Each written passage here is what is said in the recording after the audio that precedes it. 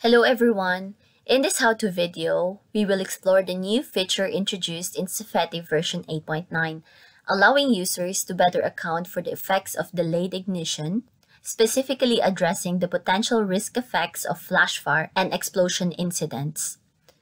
When conducting risk assessments, it is important to consider the delayed effects of ignition to the risk.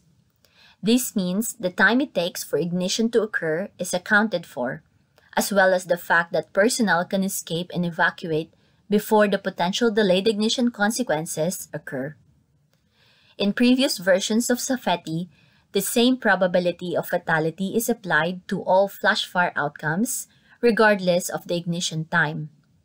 In Safeti 8.9, users can now specify the maximum ignition times for flash fire and explosion risks, such that when ignition occurs after the time specified, then a vulnerability of zero will be applied in the risk calculations.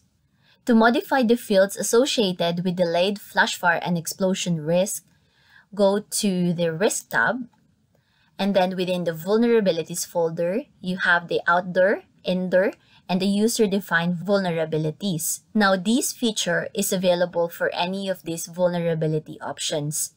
But let's take the outdoor vulnerability as an example you will see that there are new fields within the window associated with delayed flash fire and explosion risk. If the specify a maximum ignition time for flash fire risks checkbox is not selected, the same probability of fatality will be applied for flash fire outcomes regardless of the ignition time of the outcome.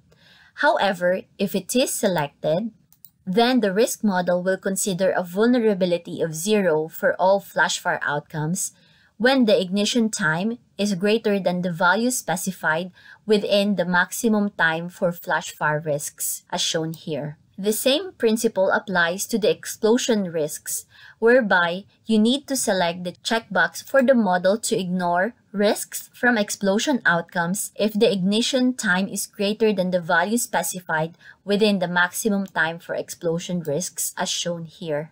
So once this has been specified, then click OK and then run your model. Thank you for your attention and we hope you learned something new in this how-to video.